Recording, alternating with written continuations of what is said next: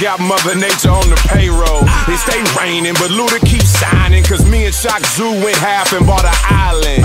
Chris cut half a million for the watch, whipping 100 foot yachts up to 55 knots.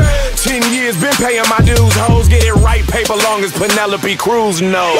Ten and a half alligator boots and tailor made water repellent cashmere suits. He's so all in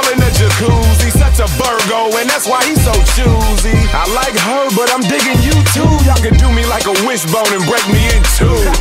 come one and come all of the time, cause my bottle service look like an assembly line. Right? Celebrate